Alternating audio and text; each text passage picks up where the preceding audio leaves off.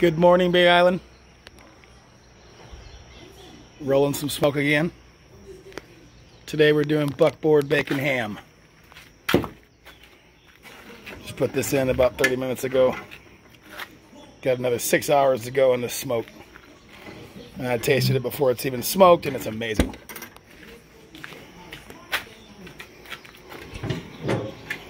Oh yeah. This stuff is very versatile. You can cut it up, chunk it up, slice it up, thin, thick, big. This is smoked meat, Cadillac style.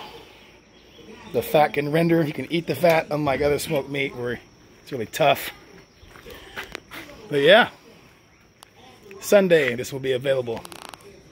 Aloha everyone.